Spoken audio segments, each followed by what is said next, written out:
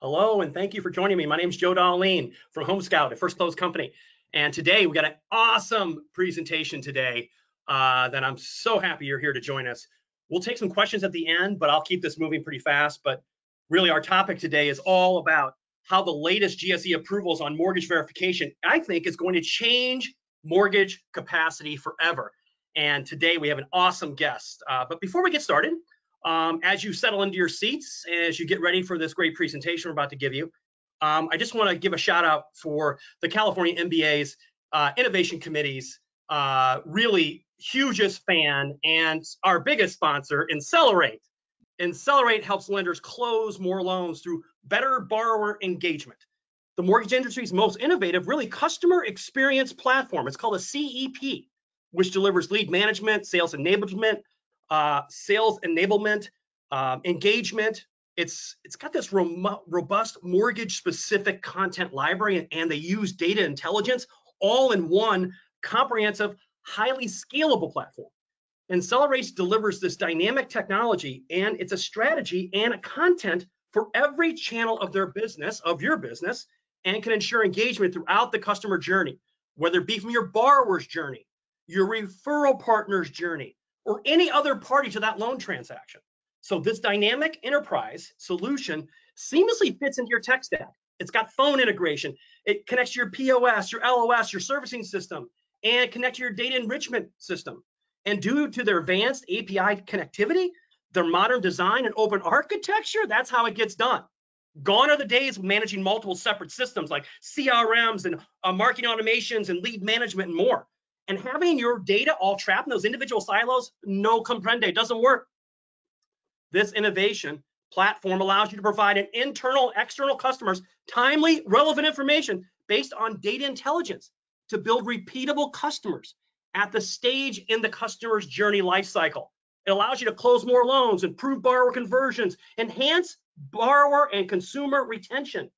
And it can transform your customer acquisition life cycle. Think about that, transforming your life cycle and create customers for life. For more information, visit Insellerate, insellerate.com, 855-973-1646. Big shout out to Josh. Thank you very much for allowing us to have this presentation. Okay, let me open this presentation here today and introduce our guest, which I'm very excited to have. Um, so again, how the latest GSE approvals on mortgage verification is going to change mortgage capacity forever. Okay, here's my opening. You know, living through the latest all-time record refinance volume, our mortgage industry has shown that with technology, we proved we could do most of this volume working from home. Big shout out to everyone again for our industry for pulling this off in the middle of a worldwide health crisis. But even in the amount of technical advances we have, we still took longer, actually seven to 10 days longer to fund loans and turn times on approvals skyrocketed, even past the available 60-day rate lock. Consumer frustration in the process with additional drip, drip, drip of conditions all the way up into closing, plus a very manual and clunky mobile notary and a and or a disjointed closing process has a negative effect on customer satisfaction scores. Sound familiar, folks? While we've been pulling back from our record pace, volume is still brisk and, you know, uh, the stress on the purchase money, uh, you know, lending side of this business leaves no room for error. you can't have any unexpected delays. You'll never get another loan from that realtor again if you have any of those type of delays. That is, even if your clients are lucky enough to even get an offer accepted nowadays, right? We all got tons of pre-approved purchase money borrowers. We don't have enough properties to get them into. But is that trend finally coming to an end with the latest news from Fannie and Freddie on the verification of income and employment? The acceptance for day one certainty and for Freddie Mac AIM to receive rep and warrant on those who deliver files directly to, to the agencies? Could this change the game forever? I mean, what would it be like if you never had any kind of conditions for credit, income, employment, or assets ever again? What would we be focused on then? Trying to get the damn appraiser to show up on time? I don't know. Um, listen, I've been a huge fan of this permission authorization type thing at the point of sale. I've been on board with it since day one. I'm a huge fan of this. And as an originator, I tried to get my borrower to go down this route as fast as I could, as many times as I could, uh, because I didn't care what the customer journey was. I just wanted to really, I really thought that giving the consumer more control of the loan process to eliminate conditions at the point of sale is how lenders reduce risk, they lower cost, and they achieve greater purchase certainty. So today we have with us at the Innovation Committee one of the top subject matter experts in our industry today. And I'd like to introduce to the California MBA, Lisa Kimball, the SVP of Product and Strategic Programs at Finicity, a MasterCard company. Lisa Kimball is a 20-year veteran of the financial services industry, and she's a strong advocate for the consumer. And it's her direction that has led to advances in innovation that help consumers through all of their financial decisions for mortgage, consumer, payments, budgeting, even investing. So Lisa's here today to discuss with us how innovation in the verification side of the space is changing the way business is getting approved and funded. And more importantly, what is the latest news on the verification of employment and income and employment? So welcome, Lisa. Please take a few minutes to introduce yourself to the audience and give a little bit of your background before I get into the questions, please. Oh, fantastic. Thanks so much, Joe. I'm super excited to be here today and to be able to talk about innovation in mortgage and how Freddie and Fannie are working to enable new experiences. I've been in financial services for over 20 years and had a variety of roles in operations, system design and implementation, technology strategy, and so I'm very familiar with this balancing act of optimizing consumer experiences without letting go of the reins on fraud and credit risk management. And I'm really interested in changing the way that we've thought about those as trade offs. Um, like either it's easy for a customer or it mitigates risk. And I think we should begin thinking about the ability to improve both. And that's exactly where we are in this moment. So um, really um, I, I, just never thought I would say this, having a career in financial services. These are super exciting times.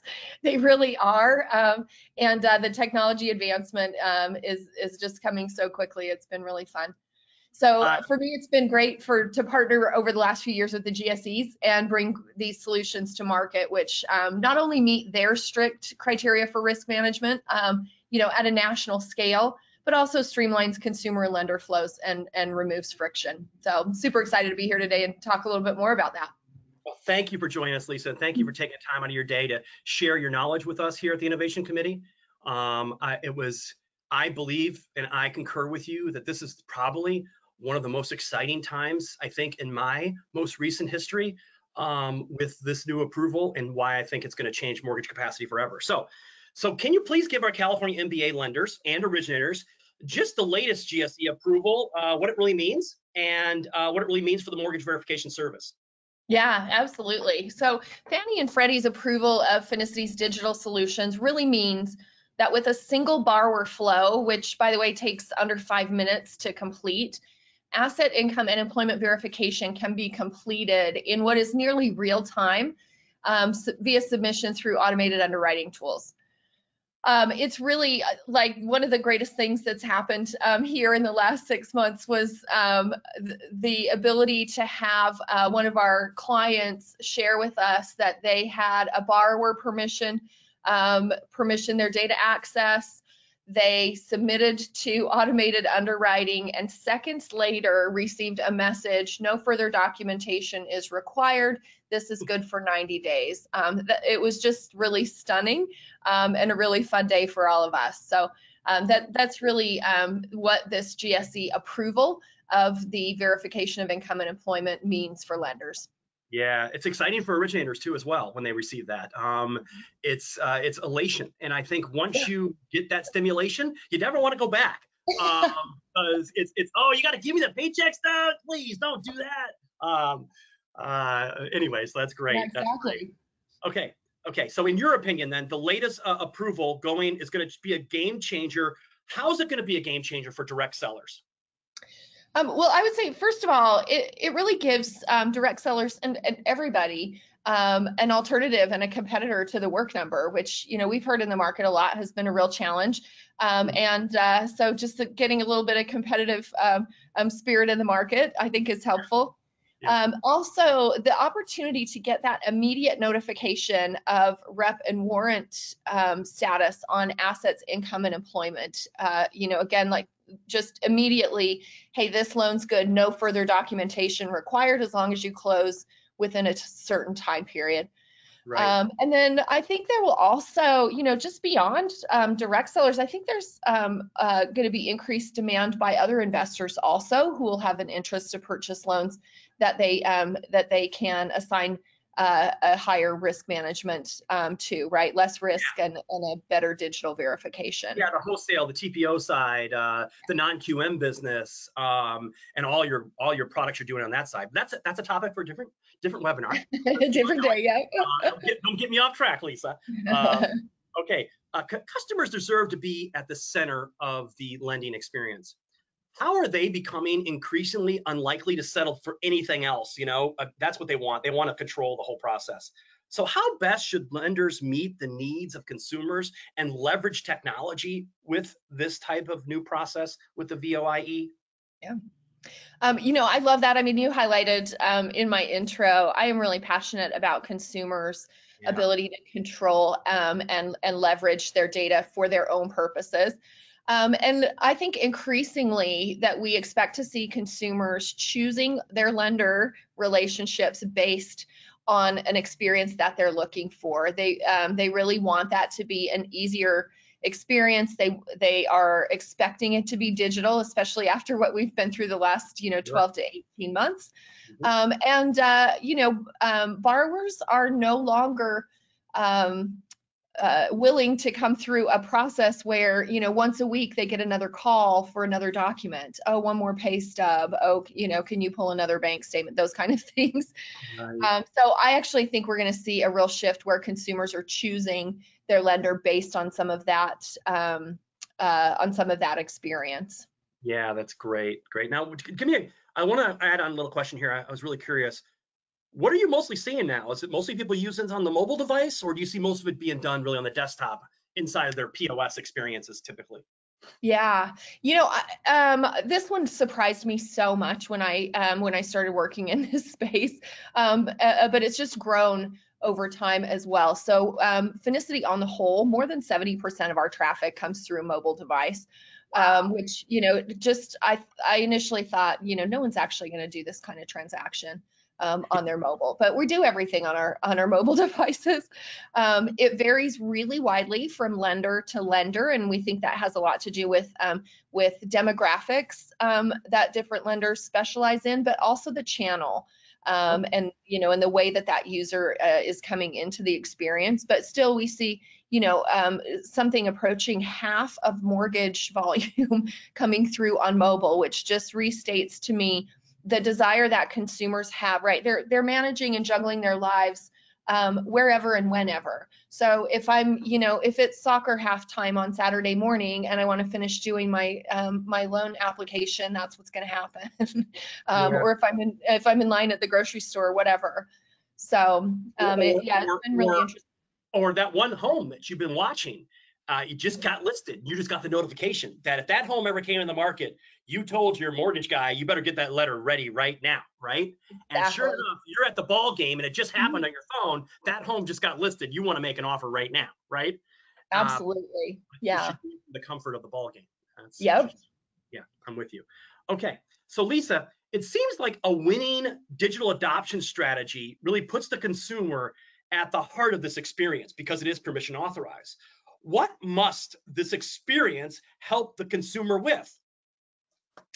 Yeah, I, um, I love this question. I think there's a number a number of places, and it kind of runs the gamut. So I think first, um, it needs to help them evaluate their options. So you know what what's embedded in terms of education and um, maybe some what if what if scenarios, or you know the ability to just really um, also get their questions answered um, or have that contact that's that's close like you know how is how is their loan officer really plugged in um, as well with the um, with the experience that they're coming through. Um, I think it also needs to ensure that they can complete the transaction with as little friction as possible. So, um, you know, if we come back to the ball game example, um, you know, you're gonna you get my attention for a couple of minutes, um, and I need to be able to get done the stuff that I that I want to get done there, um, and uh, it needs to be clean and clear. Um, so low friction, but also with a good amount of understanding. Like we want we want to make sure consumers know exactly what it is that they're permissioning and exactly what they're doing throughout the process. Sure. Um, I think then you know, kind of carrying through, they also need to be able to understand status. Um, so was this accepted? What you know, um, am I going to need to do some additional steps? What's going on? Right. Did it was was And- the transaction successful and and you know what are my next steps I need to follow? Right. Right. Yeah. Um, and then the most important, um, you know, I mentioned it last, but um, but nothing happens without this one being being part of the overall consumer experience, and that is that they need to feel secure and in control of what they're sharing and for what purpose. So, Amen. Um, you know, basically the rest of it's a non-starter um, if there's a lack of confidence in the security of um, of the data and what's being done with it. Yeah, I think you had said uh, when we had met before, Lisa, you feel more connected, you feel more in control, and the benefit of using this data with digital tools really is enlightening for that consumer. Absolutely, yeah. I mean, um, as a consumer, also, you know, in in the traditional mortgage process, I send a lot of information out, and I wait a little while. I don't know, um, you know, I don't know where that may run into problems or whatever. So also having that really fast messaging back to the consumer. Okay, income's good, and it, you know, um, or or we need X or Y, but having it be really quick and very transparent, I think is absolutely what um, what consumers are looking for. And, and your reports are so just really clear for the underwriters and processors too as well. I mean, um, just amazing. Okay, Lisa, you know I'm a huge fan of your CEO, Steve Smith, right? yep. Uh, and I wanted to get some comments in there from one of his latest quotes about what he said, and and I want to read you this quote. He said, "Leaders in lending space need to understand that the greatest hurdle for technology in the housing industry is not technical, it's cultural." Could you please uh, expound on, on this quote? Yeah, I'd love to. Um, I also am a huge fan of Steve Smith, by the way, and um, and this particular quote um, was it, it just is really eye-opening. Um, I'd love to be able to sort of see people's reactions um, and whether that really resonates. Um, this is truly aligned with what we see and hear in the market. So it's it's um, much easier to implement technology than it is to get um, loan officers, let's say, who have tr- who have a tried and true process that has been working well for them for decades to adjust the way that they work with their clients. Um, you know, they've um, as I as I interact with um, loan officers, what they tell me is that um, you know regularly some new shiny thing comes up and um, you know they might give it a shot but if it's not easy and um, and if it doesn't work well for their borrowers um, they walk right off it and go back to to their original process right? They they know that works. They know how to work that process and that flow. So Yeah, yeah, yeah i think i think the other thing i'd add like it's just as difficult to really shift um, methods of thinking about risk management. So um, you know for example lenders will tell us sometimes they have concerns about the security of the technology and the safety of their borrowers information. Great questions great points. But if you can if you just stop and think about what happens sometimes today with pay stubs and w2s that get sent to a lender we've got a borrower who's pulling them down from a site printing them off yeah. um, they send them over, maybe by secure email, maybe not, right? They they get viewed by multiple people. Um, there's just a wide variety of places where that kind of documentation can be compromised. oh, yeah. Um, and so the technology and the implementation of it has absolutely improved that security on all fronts. But it's but it's all of us humans who stop and say, oh, that's kind of hard for me to get my head around. Um, you know, uh, is is this really going to be better? Yeah, and I think So- I think you're just a top on that. I mean, you know, this adopting this is is is is not an event, right? It's a process of change management that you were talking Yes. about. And you need to adopt the ROI culture of understanding that, hey, listen, you need to incorporate this culture. I did this for the California MBA. I wrote up uh, uh, these these three trends that were happening, and one of them was exactly about this topic. You need to be, as an originator today, versed about what this is and what it is not, right? And to help your client through it. If you can do that, help your client to adjust to that, they'll remember you more, and you'll have another shot at you know being their customer for life. Okay, let me go yeah. on. There's so much I want to cover. I know we could talk about this for I'm probably hours, but I want to, I, I'm very conscious of your time. So what would digital verification improve in the loan process? Tell me what specifically do you think in the loan process it improves? I would say the most. I mean, I think it does a lot, but you know. Yeah. Yeah. There, well, I'll try to I'll try to summarize it, but um, you know, there's there's really three key areas that I think about. So of course, I'm going to start with the consumer. Um, again, borrower just is able to do everything they need for asset income and employment validation in less than five minutes. And mm-hmm. they do it from anywhere. Um, it's super easy. And they're not spending the afternoon like going through filing cabinets, gathering documentation, whatever, um, whatever that looks like. So advantage for the borrower, really smooth, easy process, and they're done.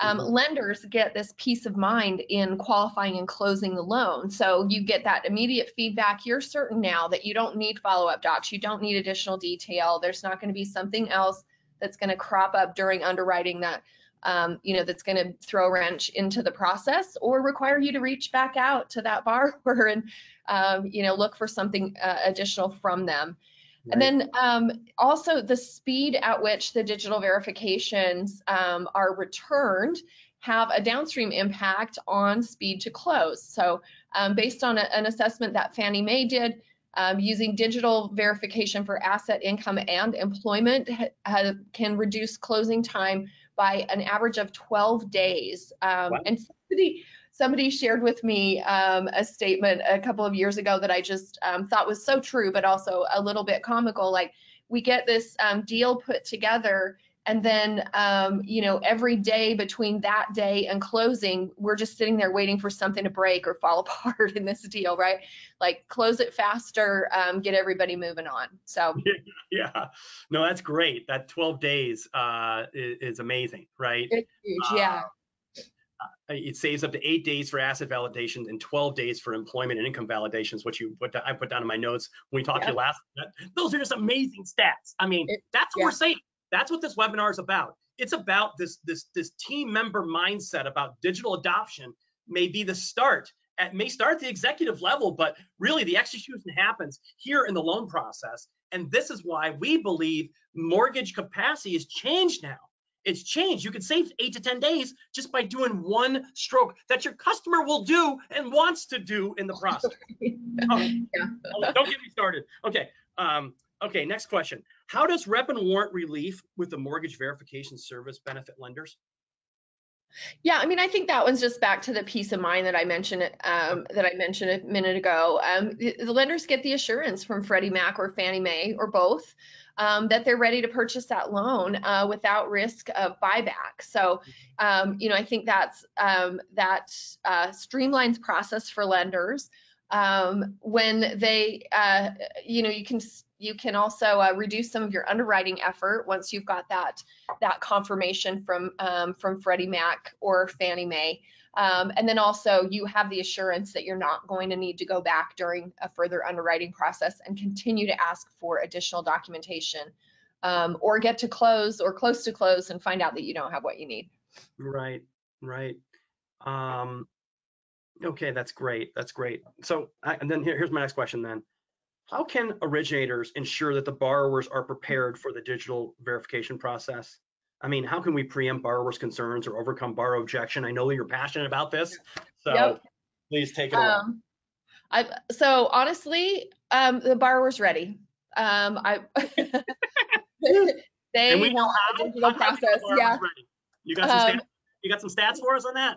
Um, well, uh, you know, just I don't know if I've got uh, right sitting in front of me, um, but but uh, that's consistently what we're hearing and seeing as as we have implementation.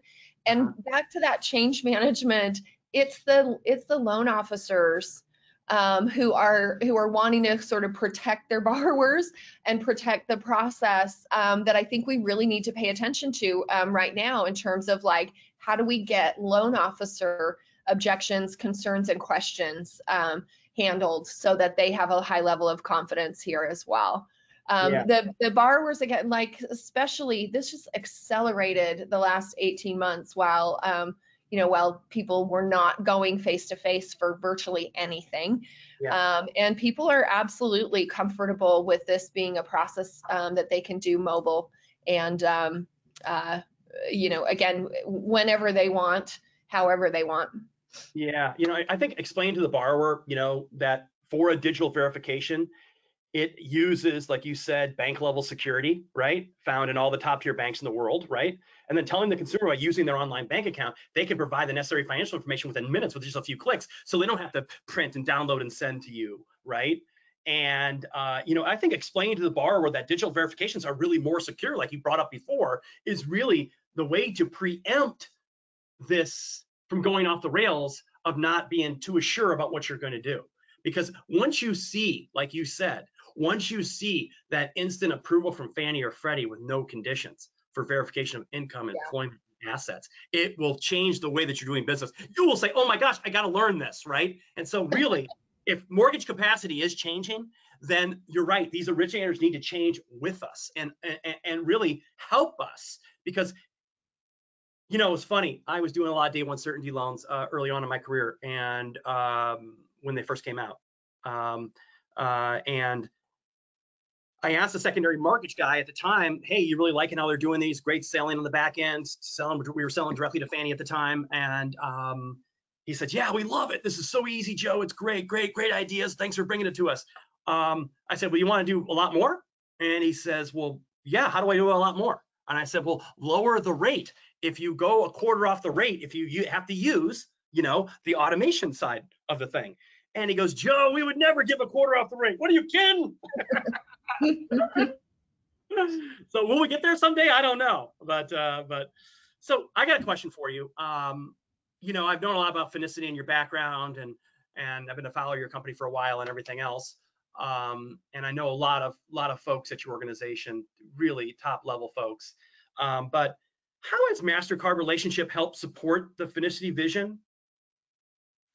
Ah, yeah. Um, so uh, one of the things that's been um, uh, for me very pleasantly surprising. Um, this doesn't happen very often uh, when you've got M&A activity going on, but Mastercard and Finicity truly share a vision for global financial inclusion and the consumer at the hub. And so, um, you know, really Mastercard also has brought to the table um, that that shared vision, but also um, uh, fueling the growth that really allows us to accelerate. Um, you know what will be global. Um, we're, we're, actively looking at, uh, at global options right now. Um, and uh, so anyway, it's just been a really great partnership from the perspective that you know we came at things from such a similar perspective. Mm-hmm. Um, so global expansion. Um, also, we are working on a variety, none to share today, but um, but a number of new product ideas together. So where's that intersection of places where there are other um, um, pieces of technology inside the Mastercard organization today that we can more tightly embed um, with Finicity solutions and just bring to clients a, a really smooth, streamlined, kind of comprehensive set of products. So I think there'll be very cool. Interesting very, things. Yeah. yeah. So it sounds like uh, maybe even tools for the underbanked, maybe even. Absolutely. Yeah. Yeah, that's very cool. Right up, right up Nick's alley. He's gonna love that. right, right. Um, um, okay. Um, did you have any questions, Lisa? Did you did you have any particular questions that you wanted to, to that you wanted to bring up uh, today? I have one final question for you, but before I get there, I just want to say, do you have any questions? Um, I don't have questions. I mean, I feel like Joe, we've we've covered uh, we've covered a lot of territory here, and I really uh, I really appreciate it. I hope the audience can tell, right? Um, like your excitement definitely comes through. I can vouch for that, and um, and we just couldn't be more excited about this. I mean, um, uh, serious um, in my career, I don't think I've ever worked on something that I felt like took such a giant step forward in terms of the way that that we think about things and the way that we're able to do things. So um, it's just been a great. I think I found the song, Lisa. Uh, you know, do the things you love and call That's it work. That's right. Yeah. do the things you love and call it work. I love that song. That's going to be your new walk-up song, Nixa. that's my. That's now my walk-on song. I love it. Yeah. All right. Good. Good. Well, Lisa, um, we always ask this to our last question to all of our guests that come on. So it's not just a particular question for you, but in the innovation committee, and like we like to think outside the box a little bit, uh, maybe a year or two out. So the last question we'd like to ask you, uh, you know, what innovation uh, that you see coming soon will change the way we do business today? And it doesn't have to be your product, of course. It can be anything. Yeah. Um, well, I, there's definitely a space that I think um, is really critical for our product set. Um, and it might, well, maybe like a lot of innovations, right? It, it may not sound that interesting um, at the get go, but um, really, I think that um, we'll continue to see a lot of movement in terms of data access. So I'm thinking about two things there. The first is the ways that we can exchange data in mm-hmm. real time. Um, so uh, I think we'll we'll continue to see movement. Right, APIs have become um, the standard. There are some other um, upcoming technologies that um, I think will continue to push the envelope in terms of our ability to um, grab the the relevant data that mm-hmm. um, that is needed and also be able to um, exchange that in in real time. And then I think we'll see a lot of expansion of the types of data also that can be leveraged. You know, um, payroll data sources are so hot right now. Um, I think we'll continue to see other types of data that can be brought together and um, and you know really push forward um, some of the other pieces of not only credit decisioning, mortgage lending, but um, but some other use cases as well. Um, right. And I do think that area is so important um, to to kind of innovation and what's coming next. Like we're even seeing the Biden administration jumping in on the importance of ensuring consumer access and control um, of financial data. So um, you know not super sexy i guess but but the data access is like where everything starts so um, it's uh, it's really going to be important i think going forward yeah yeah and i think it i think you know it's a closing thing that's that's awesome thank you very much for that lisa but i think you know digital adoption is no longer uh, uh, something that you can say yeah i'll get to it it's it's here it's yeah. today you got to do it now and you got to stay at least at pace with your competition right yeah, yeah absolutely now, you said, it's so easy to implement. It, you know, it's like if you empower your customers, boy, you'll enhance your business, right? All right. Um, uh, let's see. Let's see if we have any questions, Lisa. If not, that's going to be it for us today. Um, All right. Hey, Joe, see. this is Dustin. We've actually got a couple of questions in the queue. If you wanted to uh, uh, take a look at those real quick. Uh, anyone has any other questions for Joe or Lisa, this is the time to submit them using that uh, the questions queue. Yeah, the first one is is that how is uh, how is this different than the Fannie Mae Day One Certainty? And I, that was from Lupa, and I think she's uh, she just she just left, but um, obviously it's it is Day One Certainty. That's what we were talking about. Uh, it's not right. different than that, that at all. Rep and warrant is based upon what you negotiate with the GSEs, right? um, and what kind of rep and warrant relief you're going to get. I think it's standard when you get the contract to sell them this type of paper, but you need to contact them to get it done. But it's exactly what day one certainty is. And the, what makes it different though is that instead, you know, with the previously on the verification of employment through the work number, uh, they didn't bring in the paycheck stub either. And now that's what you're doing at your product, right? You're bringing the paycheck stub as well as the analytics and telling you what the value, what the what the amount is, doing the calculations for us um, as well as also the verification data going back over 12, 24 months just to verify they've been employed. So that's what's a little bit different. So it's a little bit different today than it was in the past. Um, yeah. You could support more. I would say you, you could probably support more borrowers. If there's still 22% of Americans that are basically self-employed, um, you know, everybody else you could cover. Uh, so that'd be about, you know, 85, 90% of the market could use Finicity or this type of tool to do verifications. Um, next yeah. question. Yeah. yeah. You, want, you want to pipe in on that? Um, Lisa? Well, well I, would, I would just uh, I would just also add. So uh, you talked about the income portion, right? Going back 24 months, yeah. but also um, the ability to for for the lender um, to simply at close do a refresh of that report Um, and again, like in real time, in, in um, you know 90 seconds, you've got your um, closing validation of employment as well. You're not back out to the borrower. You're not making phone calls to um, somebody's office that's closed because of a quarantine or some worldwide pandemic. Um, you know, just just super easy to get all the way through the process. So yeah, the three the three day prior to close re-verification, you can just pull it again, refresh the data, and bam, oh, there's the paycheck stub just hit. We're good. Yep. Still there. yeah. okay. Um, another question here. This one's from Michael Kelleher. Um, he's joining us today, and um, his question was, um, what do you believe will be the biggest difference between someone who uses traditional institutions versus someone who uses a new challenger bank like a Venmo or an Apple when they apply for a mortgage in the future? Question mark. Ooh. What do you believe uh, between someone who yeah, interesting, Joe? I mean, um, tell me if you think I'm I'm hitting on the the heart of it. So I think for a consumer, there shouldn't be a difference um, in that scenario. Uh, the bank transaction data, um, you know, we we, we um, connect to uh, more than 8,000 financial institutions um, in order to um, have that good data access. So there shouldn't be a difference for what people experience. And actually, most consumers have multiple banking relationships. And right. so we have to assemble those together um, in order to paint the picture. Um, maybe the only thing that I would say is, um, and this doesn't typically happen with challenger banks, but it can happen in some other spots, is that um, there are still some um, banking institutions who are not um, making it very easy for consumers to get access to permissionless data um, for other use cases. And so in those scenarios, um, you know, individual banks make it difficult for their for their customers and for their clients to be able to use these type of solutions. Mm-hmm. Uh, but they're not the challenger banks and the fintechs on the whole, right? that, um, right. That's that part of the industry is usually pushing forward with, um, you know, hey, how do we partner? What can we leverage?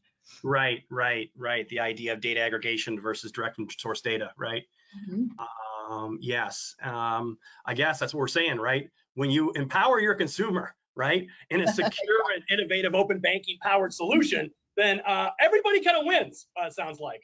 So yeah. I believe it. Our, our thesis for this for this webinar today was really about how this is going to change mortgage capacity. We had a huge problem with mortgage capacity during the last refi boom. And this is really a game changer uh, and one where I think you could use technology that's already built for you right now today. So well, thank you very much, Lisa, for coming and, and spending your time with us today. And thanks for Finicity to, to lend you out to the California Mortgage Banking uh, Association. Uh, uh, we look forward to seeing you at the conferences and, and, and, and hopefully we can invite you back to be a guest here in the future. Yeah, I would love that, um, Joe. It's been really fun. And um, thanks so much for the opportunity. Yeah, that's great. Thank you very much, Lisa. Okay, tell us how we did. Thanks for joining our webinar today. It's Joe Dahleen calling here from the Innovation Committee. Thanks to Insellerate for uh, giving us the ability to put all of this together for you. And um, look forward to see you at the uh, at the CMBA conference uh, down in Dana Point. If you're coming, we're doing a podcast down there, so maybe you might be a future guest. All right. Thanks for joining us today.